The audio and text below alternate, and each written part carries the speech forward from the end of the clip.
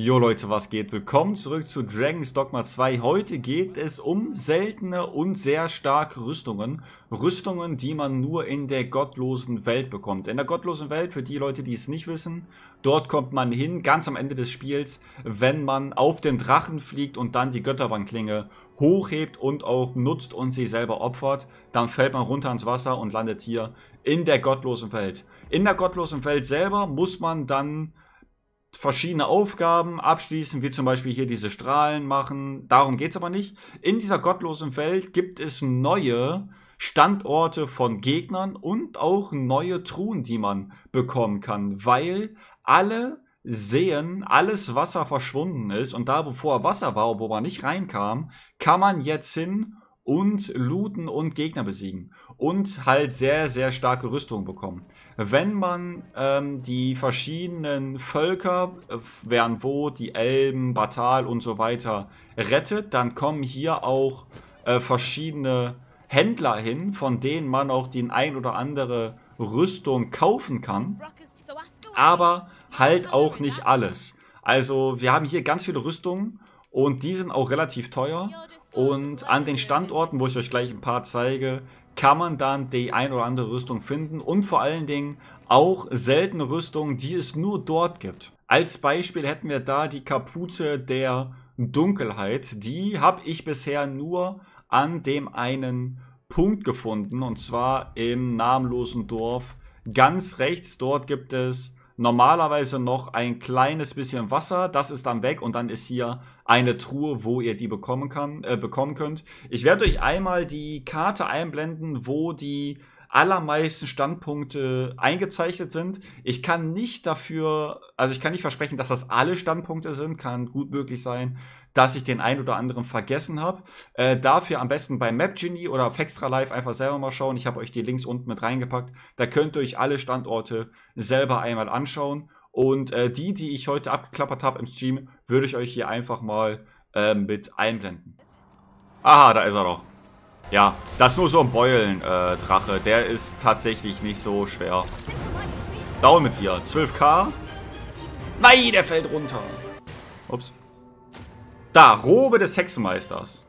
Let's go, erste.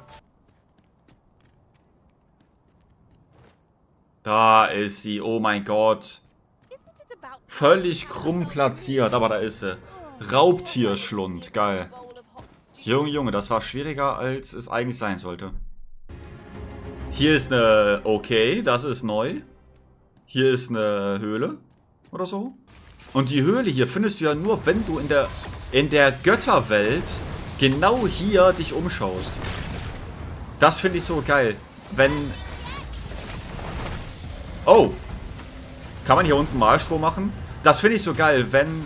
Ähm, Content im Game ist, was man nur ganz, ganz selten, nur die wenigsten Spieler überhaupt finden werden. Das liebe ich.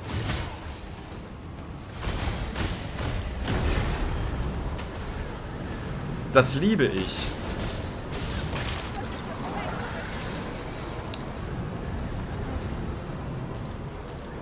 Schreckenslord-Knochen, sehr gut. Und da ist die Kiste. Neue Malstrom äh, gleich wieder speichern.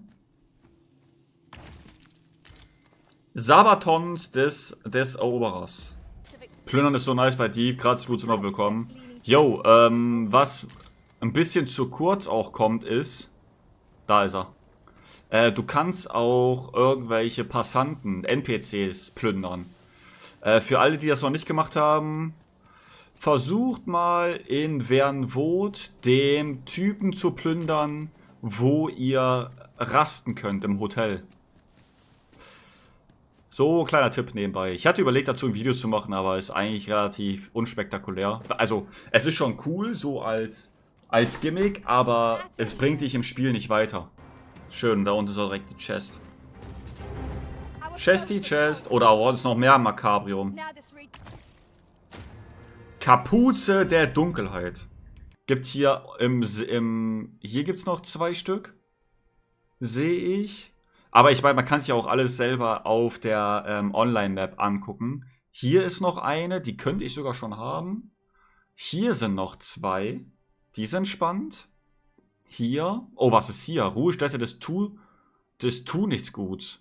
Nebelige Sümpfe. Stimmt, hier drin. Ich erinnere mich. Hier, das ist gut. Oh, da will ich eigentlich mal hin.